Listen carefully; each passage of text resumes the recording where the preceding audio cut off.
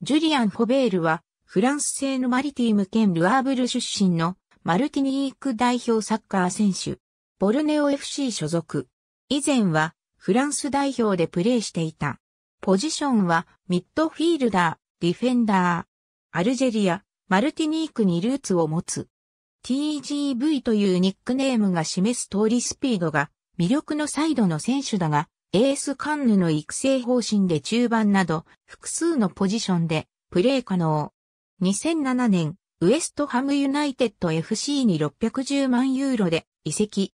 しかしながらすぐに親善試合でアキレス腱を断裂するという大きな怪我を負い、プレミアリーグデビューは翌年1月まで持ち越された。2009年1月、レアル・マドリードに移籍金150万ユーロでレンタル移籍した。しかし公式戦では1試合に後半途中から出場しただけだった。エラズースポルでの半年間のプレーを経て、2013年1月31日に FC ジロンダンボルドーへ復帰。2014から15シーズンを終えるとフリーとなったが、2016年2月26日にスコティッシュプレミアシップのキルマーノック FC とシーズン終了までの契約を交わした。2017年1月17日、フィンランドの FC インテルトゥルクへ1年契約で移籍した。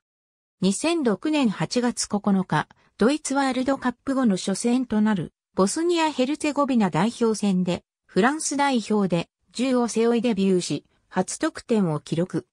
U-21 フランス代表として2006年に UEFA U-21 欧州選手権に出場した。